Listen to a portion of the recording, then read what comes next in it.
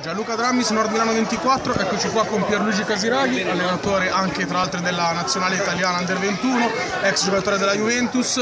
Allora mister, che ricordo hai di Gaetano Scirea? Hai intitolato a lui il memorial, il 25 anno.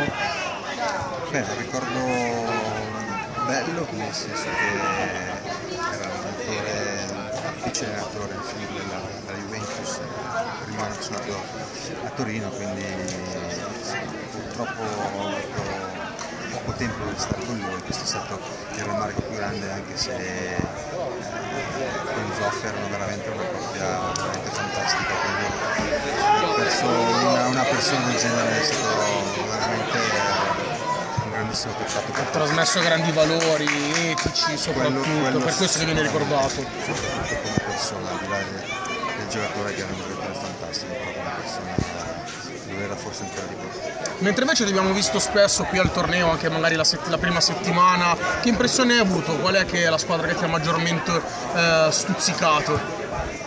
Ma sai, alla fine poi è un torneo che c'è inizio stagione, quindi è anche difficile fare valutazione comunque sui, ragazzi. Eh, ovviamente in Barcellona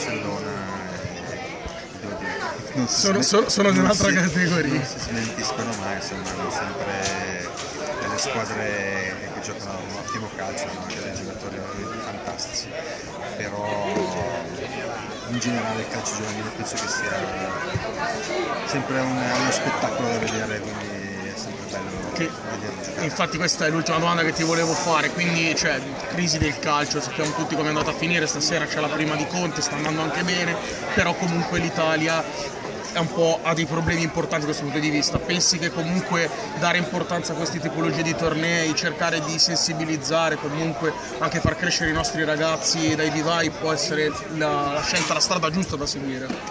Beh sì, fortunatamente in Italia i tornei questo genere sono ci sono sempre stati, il problema è quando diventano un pochino più grandi il passaggio da, dal settore giovanile alla, alle prime squadre è sempre il passaggio eh, più difficile, più complicato, soprattutto in Italia è, veramente un passaggio molto, molto difficile, eh, però insomma, per risollevarci abbiamo bisogno di talenti, abbiamo bisogno giocatori ovviamente italiani che, che facciano la differenza e si possono creare soltanto eh, tramite il calcio giovanile, quindi speriamo che migliori sempre. Ben venga, bene. Allora ti ringraziamo, un prose buon proseguimento.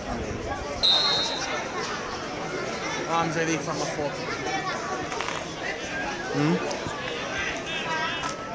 Però la aiuto.